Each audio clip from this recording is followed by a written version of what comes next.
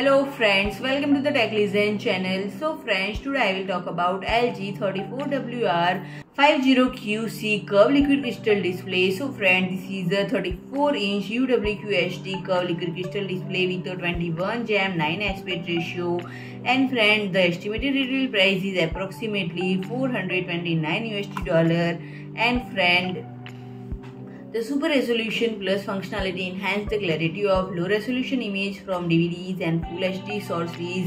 The DAS mode is available. It is implemented to minimize the game latency and the black stabilizer improves the visibility improves the viewing experience in low light scene and it is compatible with AMD FreeSync, ensures smooth visual without screen tearing and friend the LCD panel utilizes is of a VA type. It operates at a refresh rate of 100 Hz and a response time of 5 millisecond and the color accuracy is underpinned by an sRGB coverage of 99% with a brightness level of 300 cadmium per meter square and the contrast ratio stand at 3000 jam 1. The display supports a broad spectrum of 16.77 7 million colors and for connectivity it is outfitted with two HDMI ports, a display port and headphone output and it should be noted that the unit does not come with built-in speakers.